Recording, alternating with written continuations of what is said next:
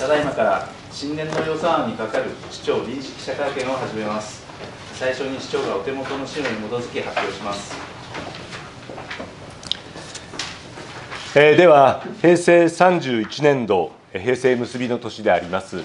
2019年度、柏崎市えー当初予算案の概要についてえーご説明を申し上げます。今ほど申し上げましたように、えー柏崎市はえー本年より、元号とえ西暦を併記するというふうにさせていただきましたので、皆様方のお手元の予算案の方、資料も平成31、2019年度というふうに書いてございます。では、お手元の、えー柏崎市当初予算案の概要について、これに基づきまして、えー私の方で概括的なご説明を申し上げます。ページめくっていただきまして、1ページをご覧ください。まず基本方針でございます。昨年度、昨年度というか昨年、平成30年、2018年に行いました事業春別をベースにしながら、つまり、真に行政が行うべき仕事なのか、そして今、求められている仕事なのか、また、そして今、本当に困っていらっしゃる、難儀をしていらっしゃる市民の皆様に対応したものなのか、事業効果が上がっているか、もしくはこれからその事業効果が期待できるものなのか、そういう視点で編成をさせていただきました。もちろんベースには、柏崎市第5次総合計画、えー目指す将来都市像、力強く心地よい街というベースがございます。まあ、私の言葉で申し上げるならば、え強く優しい柏崎というところでございますけれども、合わせながら、えー柏崎市まち人仕事創生総合戦略、また柏崎市第二次行政経営プランなども配慮しながら、今回、予算の編成をさせていただきました。基本的には、堅実な行政運営を行いながら、持続可能な財政基盤の確立を図るために、行政のスリム化を目指していくものでございます。あえ重点戦略を推進する事業ということでございます。えー、4、5行書いてございますけれども、一言で申し上げるならば、人材の育成と産業の振興、この2つの大きな柱を持って、今回、予算を編成させていただきました。健全財政の堅持ということでございます。これはどこの自治体も同様のことかもしれませんけれども、私ども柏崎市におきましても、最近で申し上げるならば、毎年1000人ずつ人口が減っているわけでございます。二十数年前に私、柏崎に、まあ、30年近く前ですけども、柏崎に戻ってきたときには、柏崎の人口が10万人あったわけでございます。しかし今、8万4千人台に1万5、6千人減ってきているという中で、もちろんそれに伴って、市税の残減残減傾向はございます。また後でも詳しく申し上げますけれども、原発関連財源の減少も見込まれているところでございます。また、歳出の方に関しましては、今年は、えー今年10月に消費税の増税ということがございます。それも含め、えーたところでございます。それから 申し訳ありません。それから、えーそれぞれ老朽化してまいりました公共施設の大規模改修、未利用施設の解体、道路、橋梁の社会基盤の維持・補修といった経費に加え、今後、さらに加速する人口減少の中、少子高齢化によって、社会保障費、社会保障関連事業の充実によるえ経常経費の増加が見込まれているところでございます。今年の予算にもその部分が出てまいります。また、え今現在進行形でございます新庁舎建設事業の継続、信用ごみ処理場の施設更新、並びに、え国営ダムの造成負担金の、え支出、こういった多額のものもございます。具体的な数字を含めて 申し上げます。2ページ、3ページをご覧ください。えー主に2ページの方、えー上の方枠組み、黒い風に縁取りをしたところをご覧ください。当初予算は476億円と計上させていただきます。前年度比39億円の減、7.6%の減でございます。ただし、少しこの部分は皆様にもお気をつけていただきたいんですけれども、確かに額面は476億円なんですけれども、借り換え債を含んでおりますので、借り換え債を除きますと、実質的な予算額は467億7400万円余りとなります。これは前年度比、えーで8.4%の減という形になります。42億7500万円等のマイナスというふうになるわけでございます。そしてさらに参考の2と書いてございますけれども、昨年の部分は、昨年の予算は、今ほど申し上げた借り換え債に加えて、ガス事業を民間企業に譲渡いたしましたので、その部分のガス事業の生産会計の繰入金がございました。そうすると、一体じゃあ、柏崎市の今年の予算は実質的にどうなんだということに関して申し上げるならば、参考の2のところです。借り換え債及びガス事業生産会計の繰入金を除いた前年度の当初予算が452億1000万余りというふうになるわけでございますので、昨年の実質的な予算、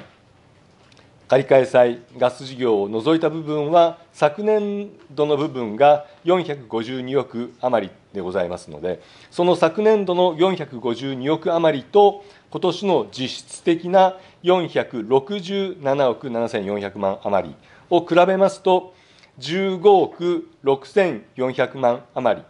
つまり3.5%の増という形になるところでございます。実質的なところで比較するならば、昨年に比べて15億余り増、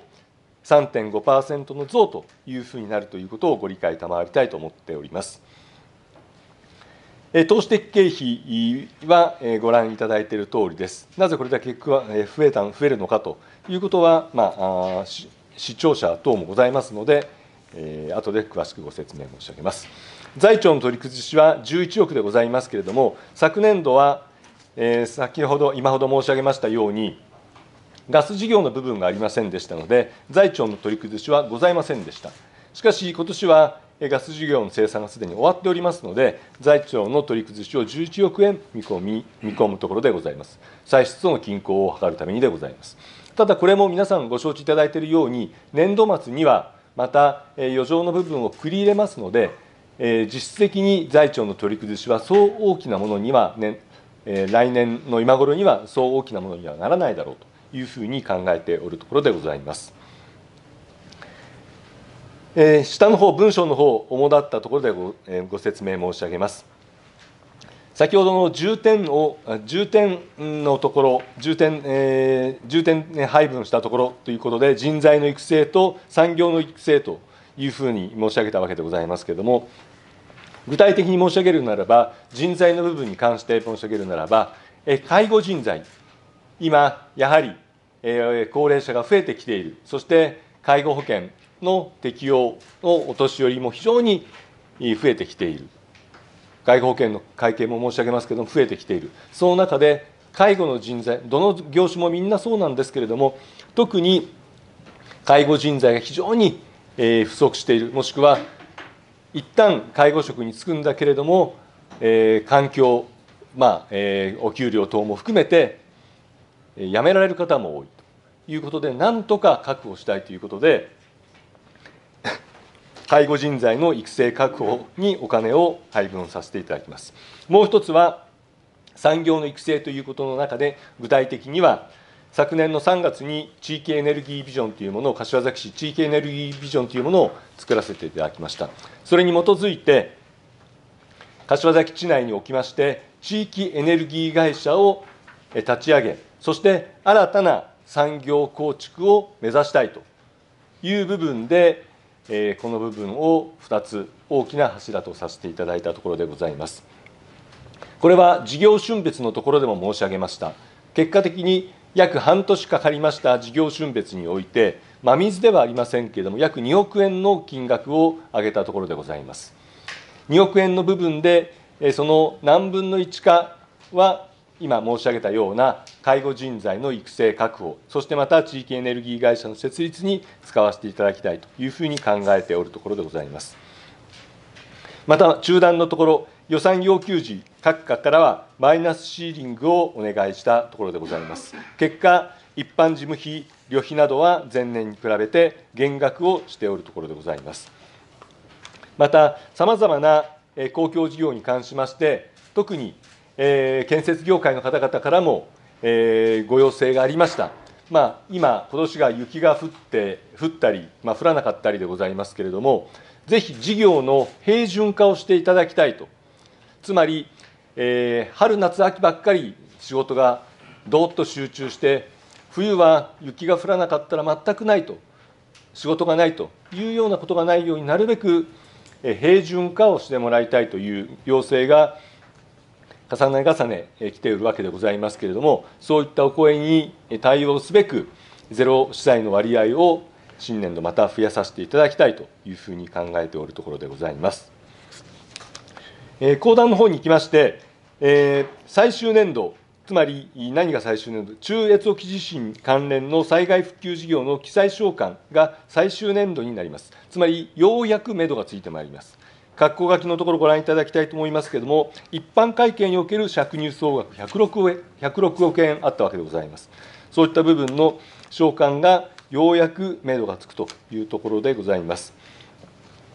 歳入全般につきましては、財源不足が非常に厳しい状況でございました。当初、昨年は47億円の財源不足、今年は事業春別ということを行ったことも含めて33億円、それでも33億円の財源不足でございました。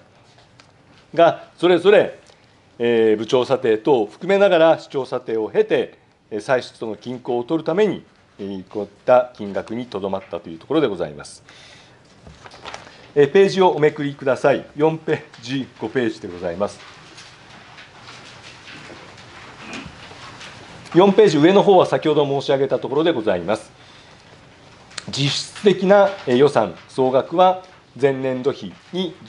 15億6000万プラス3.5%の増というふうにご理解賜りたいと思います。特会のところ、え先ほど少し申し上げましたけれども、え介護保険特別会計のところをご覧ください。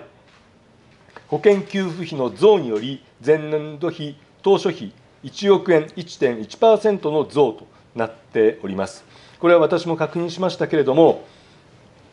昨年は2.3億円、29年度に比べると、平成30年度は2.3億円の増、2.6%の増でありました。つまり、年々1億億の単位でこの介護費、介護保険特別会計が増えているという形になるわけでございます。もちろんここには一般会計からの今年も繰り入れが14億あるわけでございます。それから、えー、右側の方は、えー、歳入の方の一覧でございます。ページをおめくりください。6ページ、7ページでございます。歳入の主な増減要因をご説明申し上げます。まず、市税でございます。前年度比、当初比で2.2億円の減、155億3000万といたしました。個人市民税は、えーまあ、市民の皆さん、先ほど議会の方々にもお話申し上げたんですけれども、柏木、元気がないと言われておりますけれども、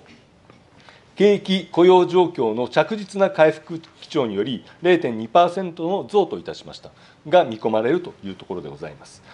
法人市民税に関しましては、前年度の調停実績額を含めて7.3%の減とさせていただきました。法人市民税に関しましては、まあ、あの多分皆さんでしたらいろいろ事情をお察しいただけるだろうと思いますけど、なかなか税収が上がらないところもあるわけでございます。そういった意味で、えー、含めると、個人、法人、含めますと、前年度比、当初比の0.6億円減、6000万円、1.2%の減と見込んでいるところでございます。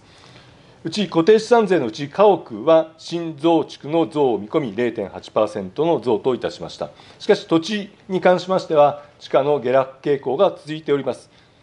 ので、まあ、またそれから焼却資産の実績等を含めて減を見込んだところでございます。また軽自動車税におきましては、これはあの税改正というんでしょうか、県でとしての新たに創設される環境性能割も出てくるということでございまして、それぞれのご覧いただいている金額を計上させていただきました。使用済み核燃料税は、えー、今、改定作業を東京電力等々も折衝しているところでございますけれども、当初予算の中では5.7億円、え、前年、また、え、ここ数年と変わらず変わらない金額、5億7000万円を計上させていただきました。地方徴用税に関しましては、これはどこの自治体も同じでしょうけれども、森林環境譲与税が創設されることになりましたので、それに伴うものでございます。環境性能割交付金、これも先ほど申し上げました、自動車取得税交付金が廃止になって代わりにというところでございます。それから地方特例交付金は、えー、国の幼児教育、えー、保育の無償化に伴ってというところでございます。えー、一番下のところ、地方交付税、地方交付税全体では、前年度当初費7.6億円、7億6000万円、11.1%減の60億9000万円を計上いたしました。このうち、普通交付税は合併反対側の経過措置に伴う縮減、並びにおよび中越沖地震の災害復旧事業債償還の大幅減もあり、今ほど申し上げましたように、ようやく目処がつくというところでございます。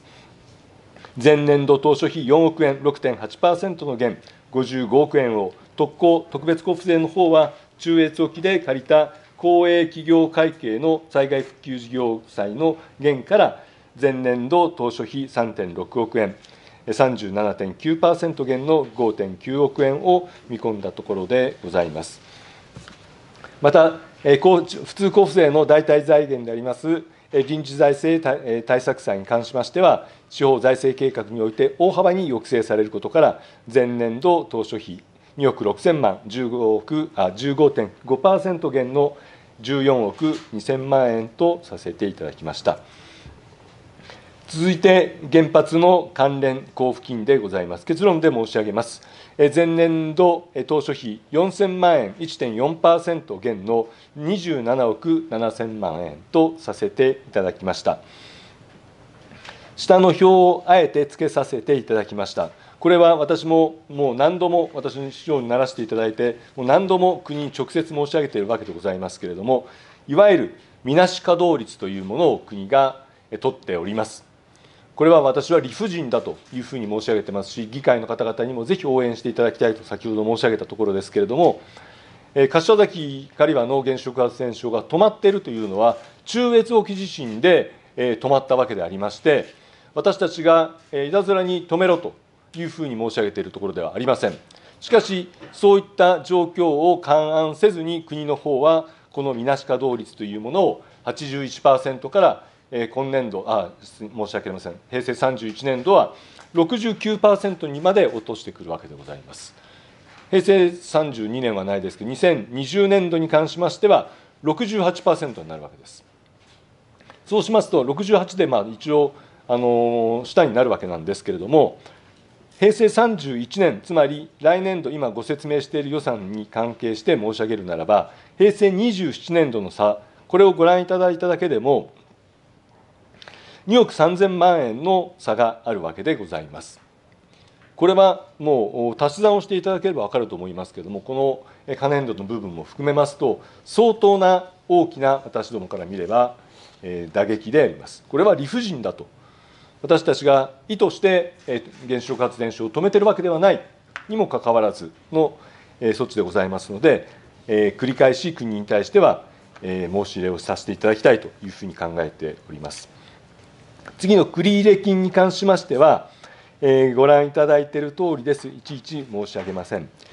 一番下、司債に関しましては、もちろん借り入れをしておりますけれども、一番下の2行をご覧ください。なお、借り換えさえ8億3000万円を除いた実質的な支債額は35億6000万円で、前年度当初比3.0%の減ということでございます。将来予想される財政も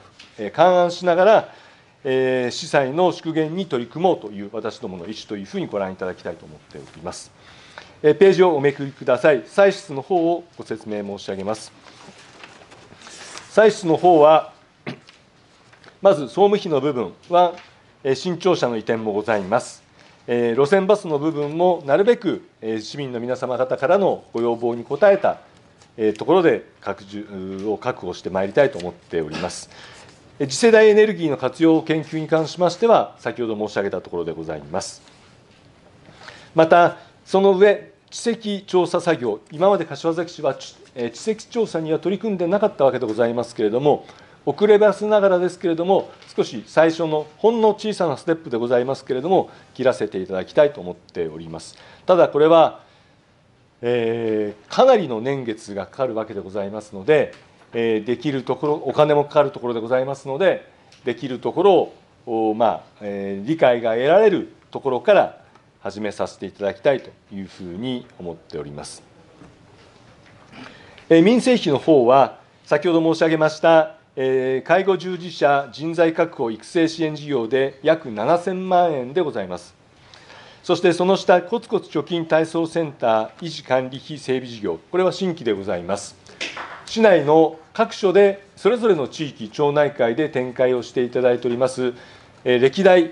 まあ、私から始めたわけじゃないですけども、前任、相田市長さんの時から始められた事業だろうと承知しておりますけれども、このコツコツ貯金体操が非常に住民の方々から人気も高く、そしてまた実行を上げているというふうに理解をしております。ただ、どうしても女性が中心、参加者の皆さんは女性が中心だったり、つまり男性が少なかったり、またちょっと限定な限定的な活動になってきているものですからこれはこの際少し刺激を与えてより多くの市民の皆様に健康増進のために介護保険料をまあ抑えるためにそうならないようにしていただくために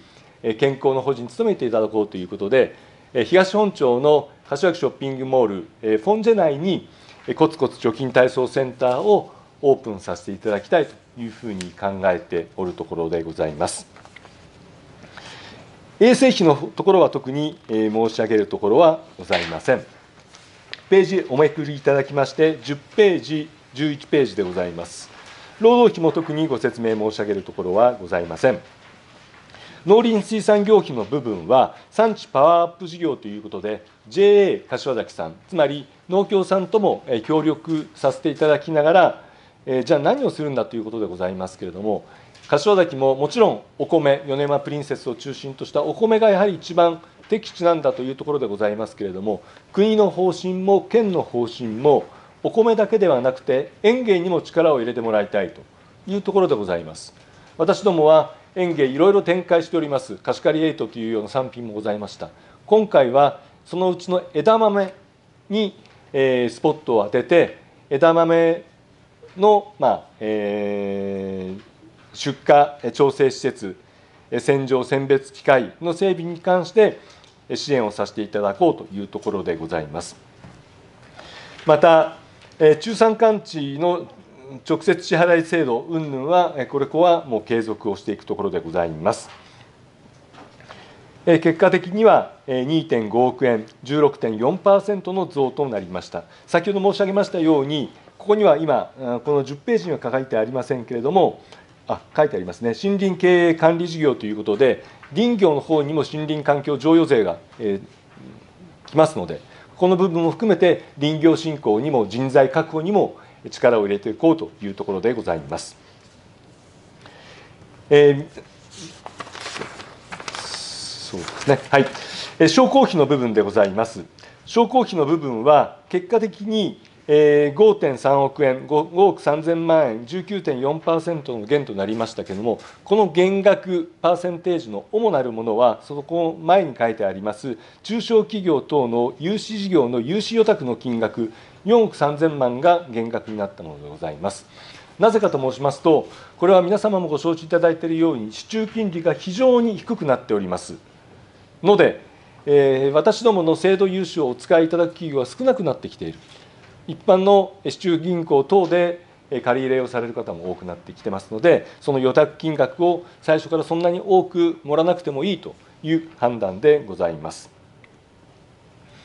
主なところは商工機のところ、工業、ものづくりの方のものづくりリーディングカンパニー成長投資助成金というところを挙げさせていただきました。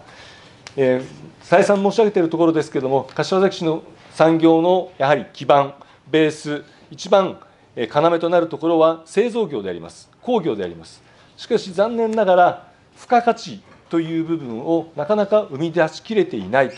いうところで、より付加価値の高いつまり儲けが大きい産業にしていっていただきたいというところで、国の制度等も使わせていただきながら、このものづくりリーディングカンパニー成長投資助成金を創設させていただきました。またさらに高い付加価値のものを生み出すためには人材が育成が必要であります。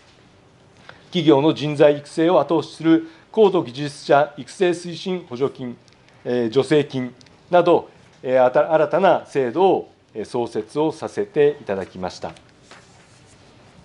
また、地域ブランドづくり、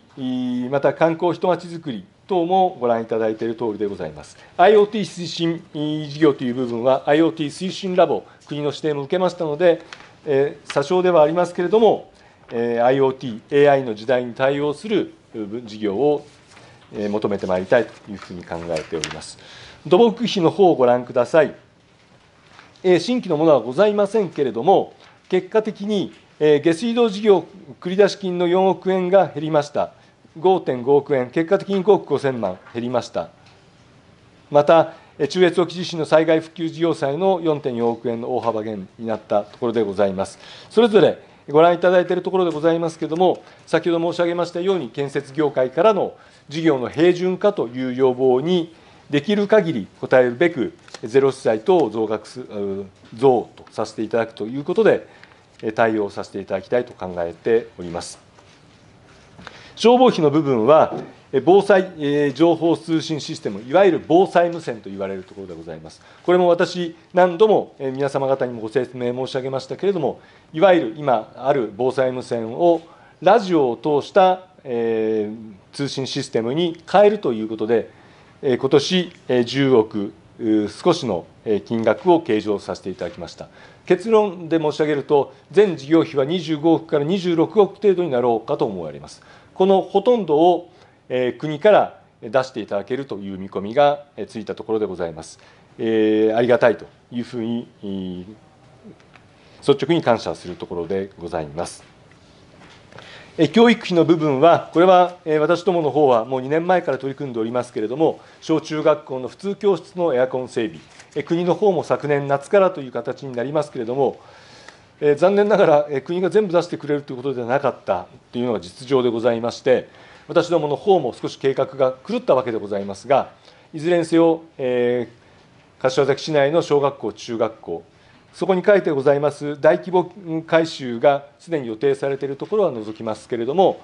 すべて、ほとんどすべての小中学校のエアコンが夏頃までに整備できるというふうに考えております。ただこれは不確定要素もございます。全国の小中学校、全国の自治体がこれに対応すべくやってますので、非常に製造の現場、もしくはそれを扱う業者さんも難重をしているというふうに理解しております。私どもの方もできる限り、なんとか夏までに、えー、全というか、まあ、あの大規模改修工を除いて、全小中学校のエアコン整備に、えー、努めたいと考えております。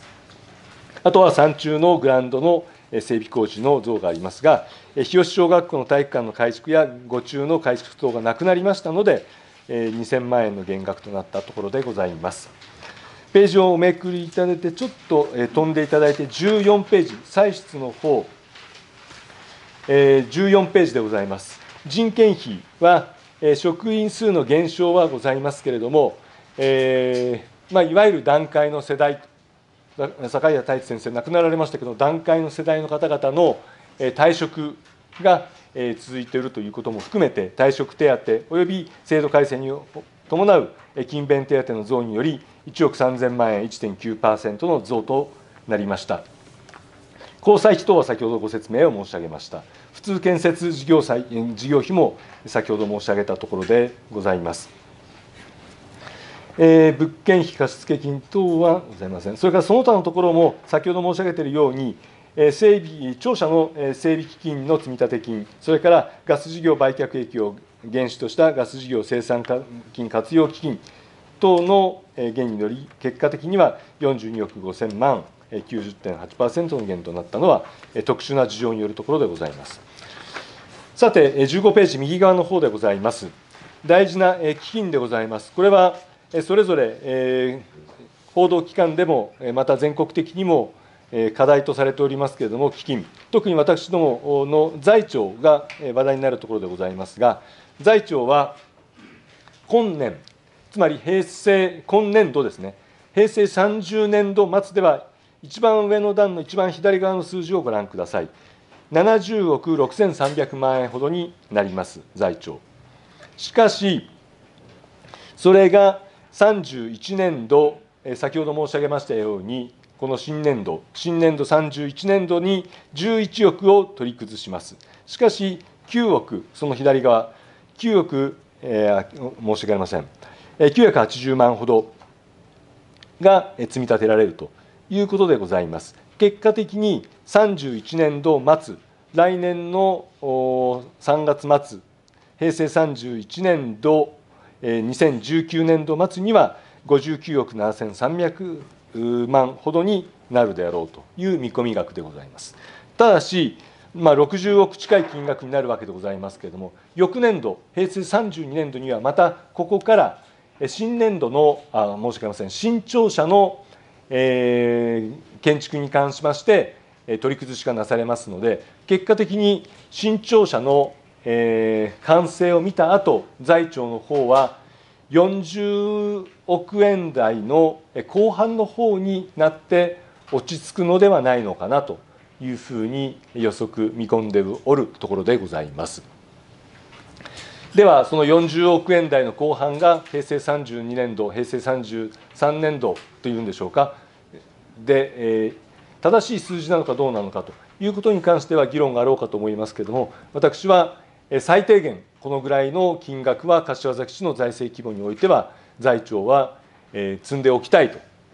積んでおかなければ健全な財政運営はできないのではないかというふうに考えておりますのでその旨堅持をしていきたいと思っておりますもちろんその時には私は私が今市長の任にあるかその時に任にあるかどうかというのは別でございますけれども今のところ私の方針としてはそのように考えておるところでございます。先ほど申し上げました原発関連交付金に関して申し上げます。合わせて27億7000万円ほどが入ってまいります。えー、内訳はご覧いただいている通りでございます。そして、えーままあ、ご質問があったらお答えしましょう。はい、では、16ページ、17ページをご覧ください。今ほどもうずっと申し上げましたので、えー、16ページから続く部分は、えー、今回の予算の中の特に重大、えー、重要点というんでしょうか、えー、重点項目、つまり人材の育成という部分と産業の育成という部分を2つの、えー、カテゴリーの中でピックアップをしてまいりました。16ページ、えー、人材育成の部分、新規事業、介護従事者人材確保育成支援事業、5100万円、1300万円、300万円、云々のところでございます。約7000万円弱の部分を新規に計上させていただきました。特に介護従事者の中で夜勤に対応することが非常に大変だと言われております。夜勤があるから、もう介護の仕事を辞めたいというようなお声も多くある。そして夜勤までしているのに給料がなかなか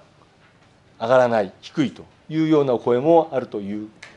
ところを承知しております。それで結果的に夜勤手当を新たに増額する場合、1回あたり私ども1400円を上限として補助させていただきたいというところでございます。結果的に多分皆さんご疑問があろうかと思いますこうすることによって1人当たりどれくらい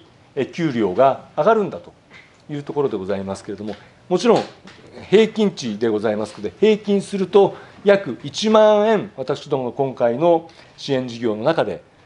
え月月額ですね月額えお一人1万円程度えお給料が上がるのではないかというふうに期待しておるところでございます。もちろんたったそれだけかという見方もあるかもしれませんけれども私どもはできる限りのところで今考えさせていただきましたつまり事業春別約2億円が、えー、まあ、生み出されたわけでございますけれどもそのうちの約3分の1をこの介護従事者の人材確保に使わせていただきたいと考えておるところでございます。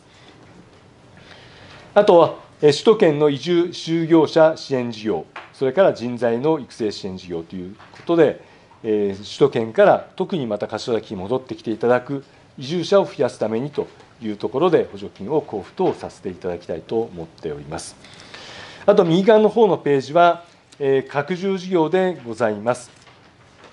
人材の育成のもとになるのはやはり小学校、中学校の学校教育であります。そういった意味で学校教育特特別支援学級の介助員を2名さらに増員させていただきますまた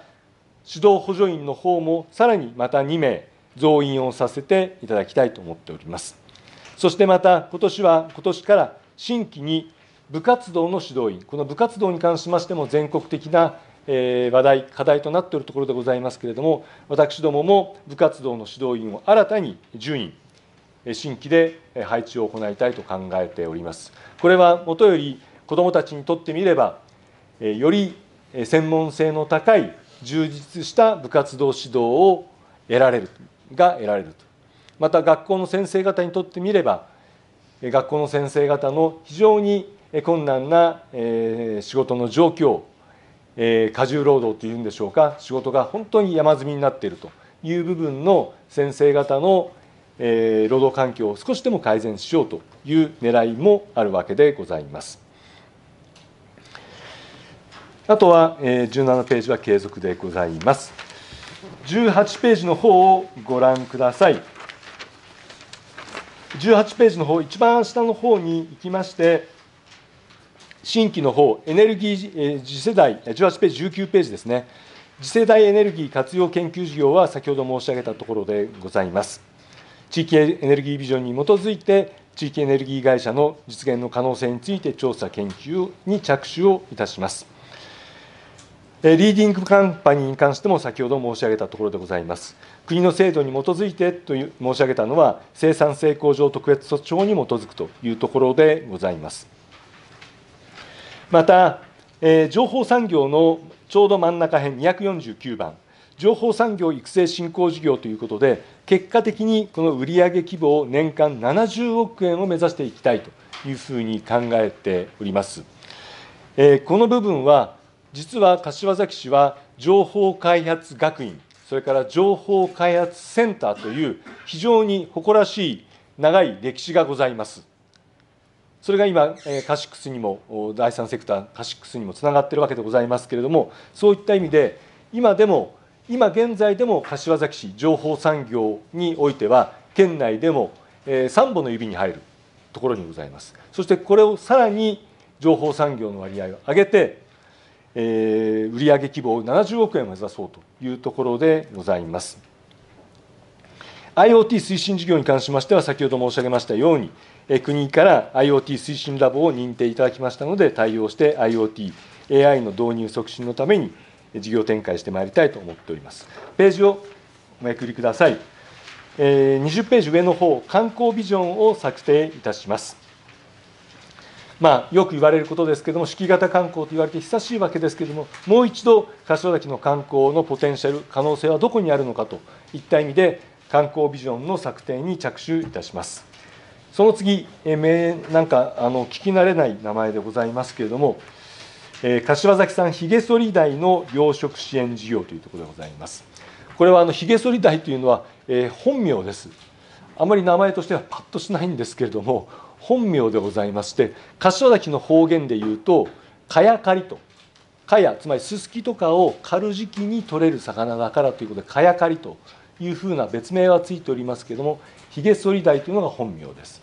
このまあまあ、漁協の方とも一緒にこの養殖の支援を少し頑張ろうというふうに申し上げてるんですけれどもこのひげ剃り鯛というネーミングも含めて少し新たなものができないかどうかというところでございます。非常においしい魚なんですけれどもなかなか数が取れない。しかし柏崎でこの頃取れるようになってきたと。そしてまだ他の漁協さんでは取り組んでないと。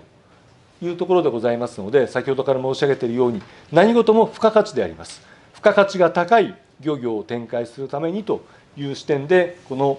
漁協さんとも、えー、協力をしながら柏崎さんひげ剃り大養殖支援事業に取り組んでまいりたいと考えております。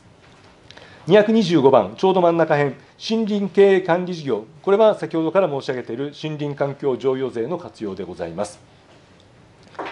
この森林組合の方々から伺うとやはり一番難儀しているのが人材の確保でございます。12月でしたかね、11月でしたか、依頼を受けまして、広報柏崎に、この森林組合、林業のえ在り方、どういう仕事をするのかということで、人材の確保も含めて、広報柏崎を使っていただきましたけれどもえ、何件か問い合わせがあったそうです。非常に喜んでいただきました。そういったことも含めて、今回、森林環境譲与税が、えーまあ、創設されるということを含めて、なんとかこの林業分野でも人材の確保につなげたいと考えておるところでございます。ジョンノビ村管理事業、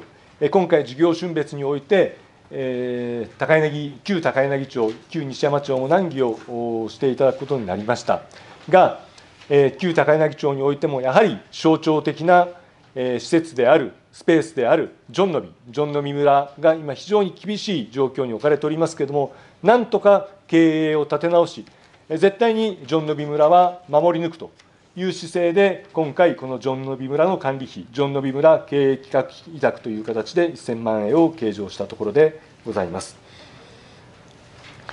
えあとえ20ページ、21ページに関しましては、拡充事業という形になりますし、継続事業でございます。米山プリンセスに関しましても、おかげさまで、え昨年に比べて、新年度あ、今年度に比べて新年度は大幅に取り組んでいただく事業者が増えました。皆様方の口になかなか届かなかったかもしれませんけれども、え新年度は多くの皆様方に届けたい、そしてまた多くの首都圏はじめ、県外の方々にお届けしたい、そして農業者には、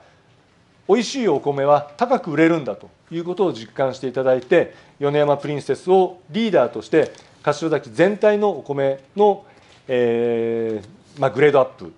を図るところでございます。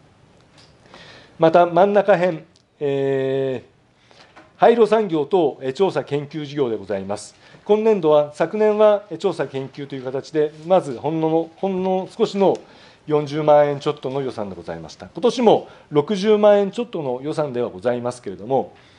昨年は正直申し上げて、私が廃炉産業ということを申し上げたときに、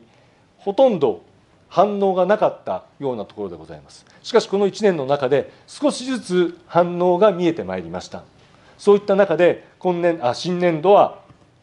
この勉強会を立ち上げて、市内の事業者が参入できる可能性を、え、引き続き調査、研究してまいりたいというふうに考えておるところでございます。もちろん、先ほど申し上げました、地域エネルギービジョンとの連携も視野に入れるところでございます。一番下、原子力災害に備えた避難訓練の実施ということで、先般、県から発表をしていただきました広域避難訓練の実施ということに関しても、非常に花角知事からご理解を賜ってありがたいと思っております。机上訓練を繰り返しながら、また私どもも柏崎市も先般の雪夜間ということを、それぞれまたいろいろな条件で、実際に私どもの訓練等も重ねながら、県のえー、行っていただく、県が主導していただくところの広域避難訓練、実動訓練に私どもも、えー、協力し、一緒にやらせていただきたいと考えておるところでございます。大変、えー、口早でございましたけれども、私の方からは一旦終わらせていただきます。以上でございます。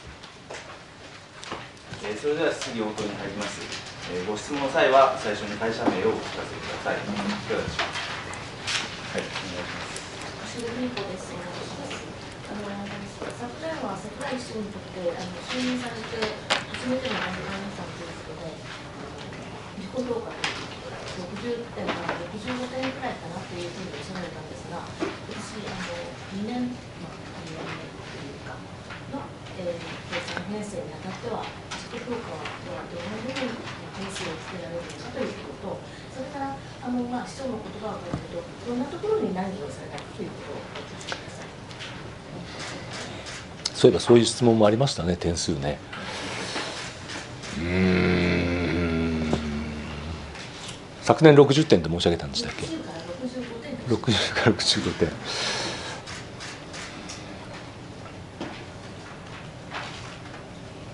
そうしましたらば、えー各段のえー春歩でまた皆さんからお叱りをいただくかも市民の皆さん議会の方々がお叱りいただくかもしれませんけど今年は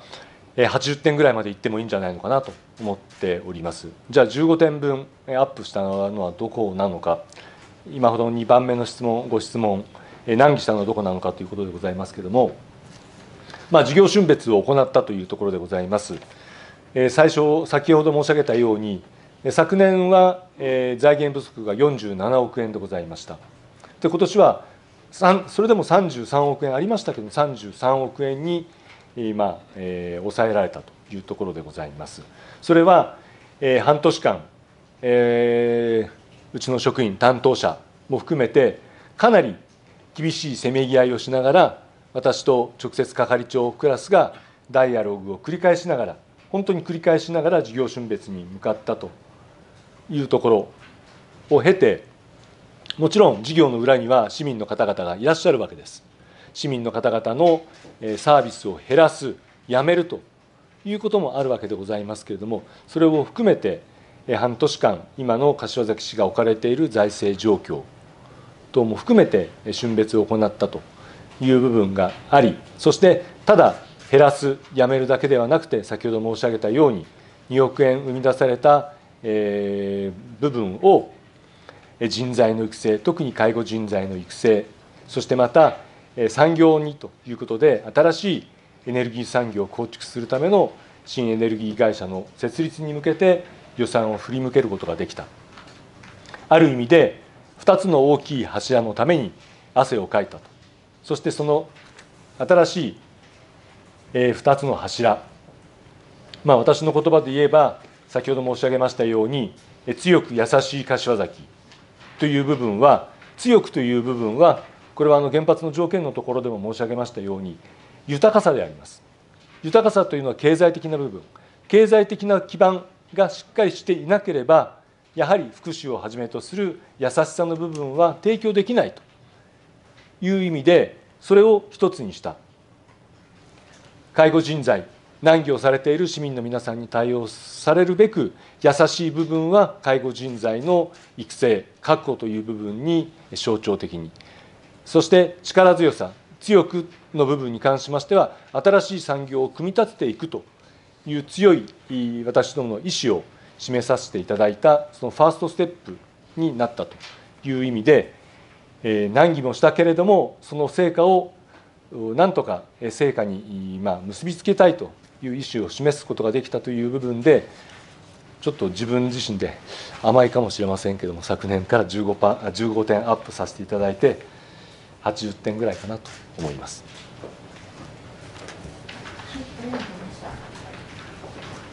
その他いかがでしょうか？は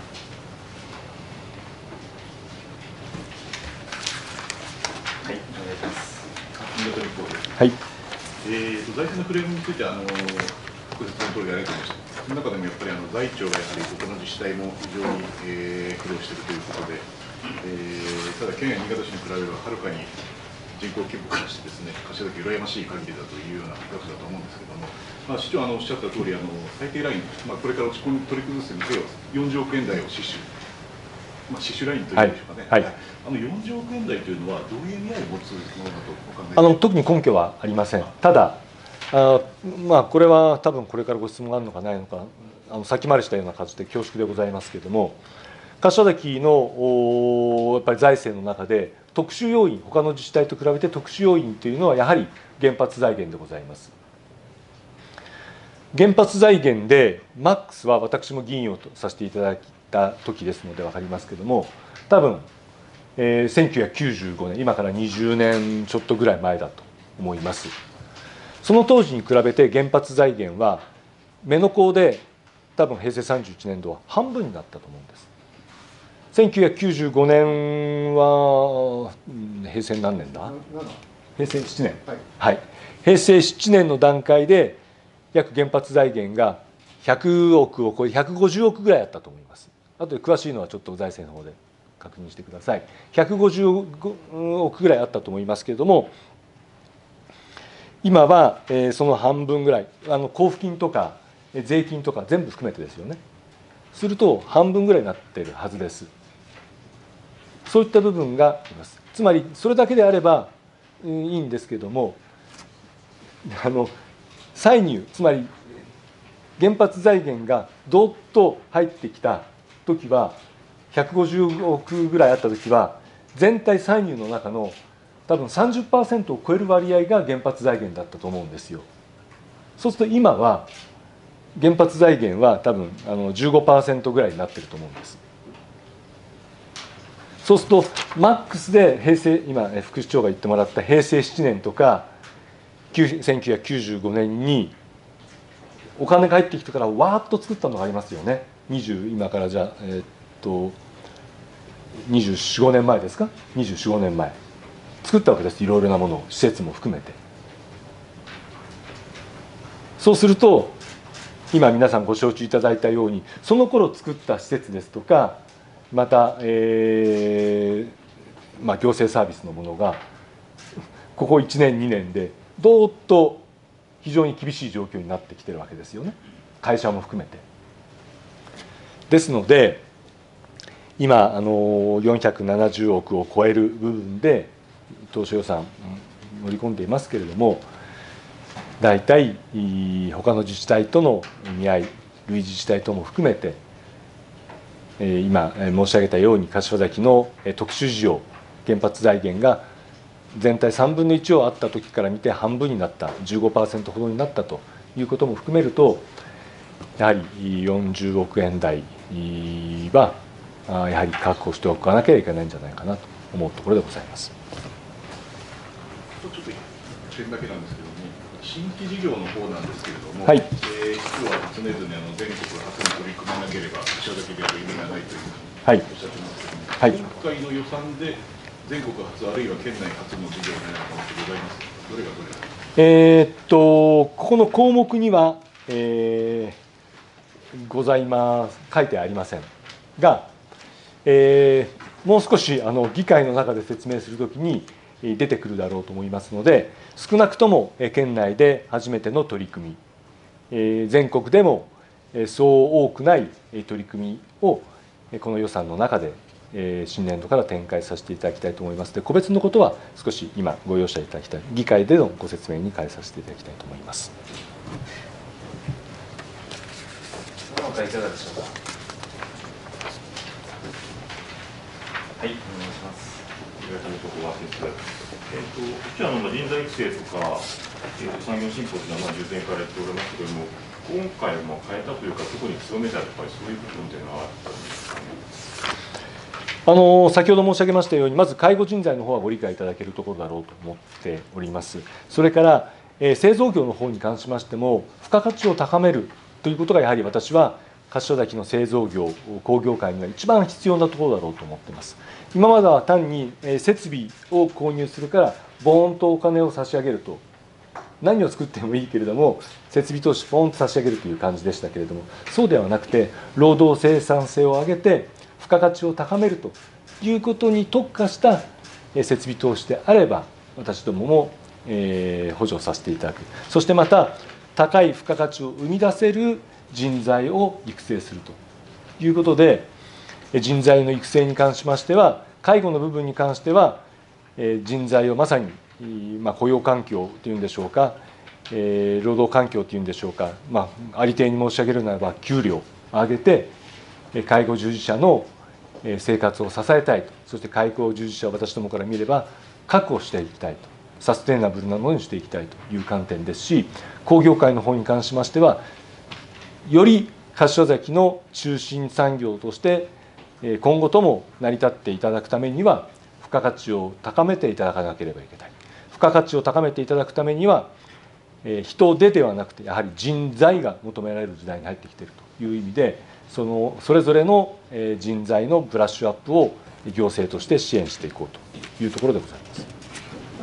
あのえー、当然、まあ、3回目の予算編成だと思うんですけれども、はい、まあ、1回目は、まあ、最初の、はい。えー、2回目はまあ本格的に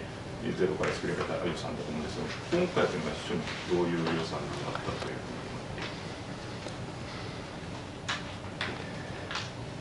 先ほどの、えー、柏木日報さんのご質問と重なるかもしれませんけれども、まああの第5次総合計画といえば力強く心地よい町柏崎。私の、まあ、前からのキャッチフレーズで言えば強く優しい柏崎。ですけれどもそれに強くは漢字ですし優しいはひらがなですし加えるならばカタカナでファーストをつけて強く優しい柏崎強く優しい柏崎ファースト。つまりその初年度実質的な初年度になるようなこの予算の位置づけというふうに私は今、まあ、今のご質問に今考えながらでしたけどもそう思います。その具体的な部分は先ほど申し上げましたように優しい部分というふうに関しては福祉環境をより良くしたいという部分ですし強くの部分に関しましては新しい産業を構築していくという目指しを始めさせていただくという意味でえー、強く優しい柏崎ファーストというふうに私の中では今ご質問に関しては、えー、位置づけられるのかなと思います。その他いかがでしょうか？はい、お願いします。すみません。あの本社の中に、えーと、コツコツ貯金対策センターを設けられるというお話なんですが、はい。こういう支援というようなことに受け取れるようなしないでもないんですけど。はい。はい。はい。えー、まあ結果的にそういった形になります。ただ、金額をご確認いただければ、えー、多分あのご理解いただけるだろうと思いますけれども、えー、現年度、今、現年度、フォンジェを支援させていただいている金額と新年度もそう大きく増額されることはありません。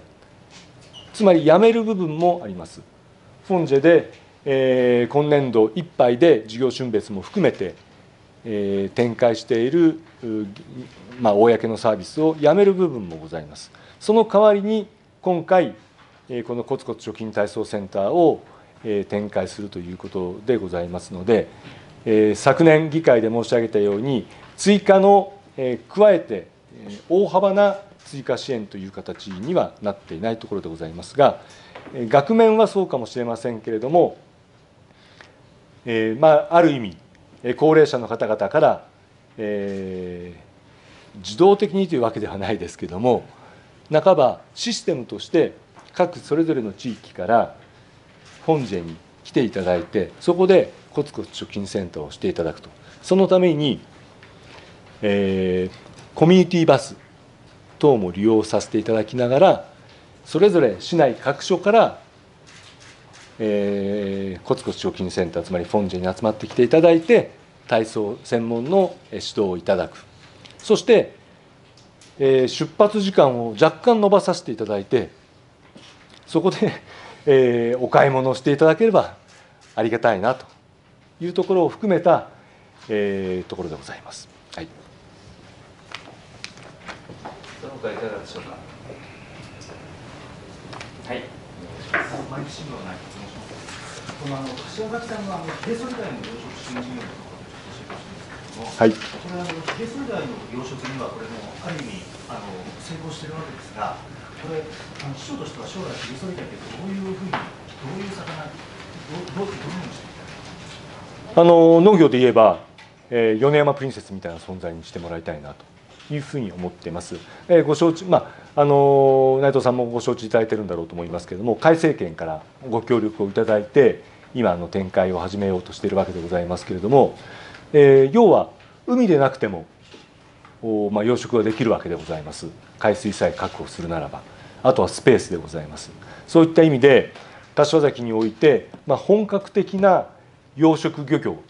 といったものに取り組ませていただく。これも私は私の認識ではまさにファーストステップ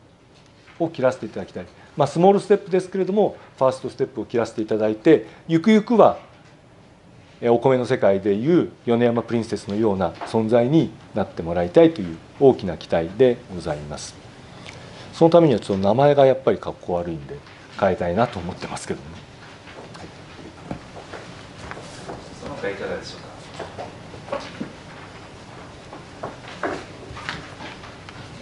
よろしいでしょうかはいあすみません、はい、細かくなりますけど、使用事業の新規事業の2本柱のやつで、はい。えー、介護事業の関係なんですけれども、はい。えー、この